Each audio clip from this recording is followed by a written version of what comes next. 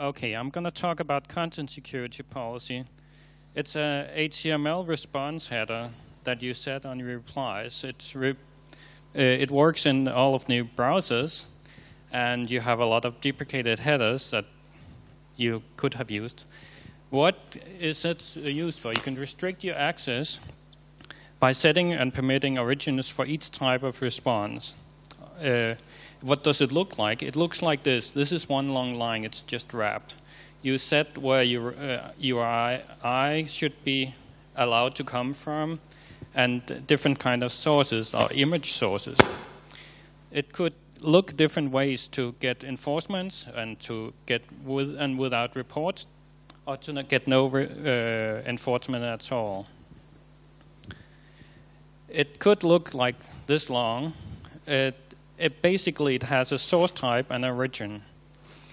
And if we go to this um, to the types, we'll see the source types can be default source, image source, script source, font source, style, frame, and media, and object, and connect. And there's a special one called sandbox.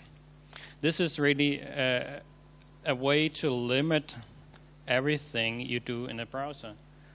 So when, whenever you set this option, you can set it to an origin being it from none. You do not accept anything. It can come from itself.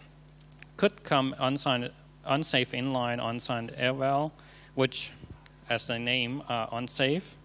It could be HTTPS, uh, you enforcing that how it should come.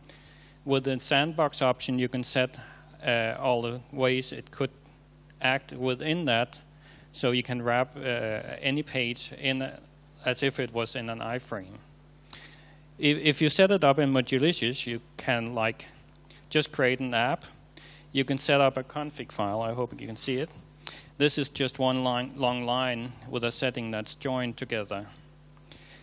Uh, in, in this case, I set up a script that says if I get a content security policy back from a configuration, and we can look at the next page, it will take that do some uh, space marking, and put it in as a HTML header in response. That's all. Then we set up if the uh, report, we actually just put it out in a log. We do a little bit of unsafe templating. We allow it in without uh, forcing HTML around it. So if you pass in a script, it will run in the browser.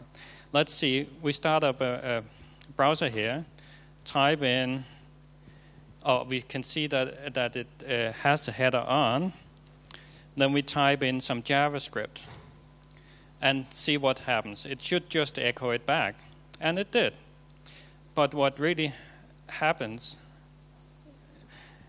oh, is that um, it logs it into the log, and we can see what happened. Someone tried to run alert 2345.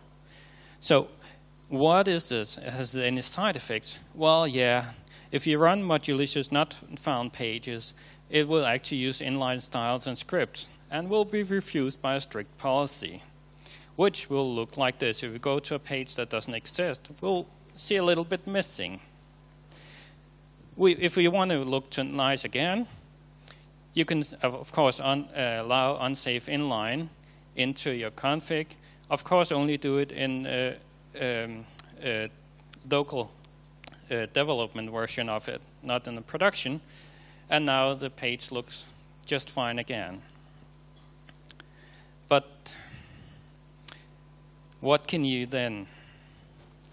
Well, you can actually run JavaScript as well. That's it.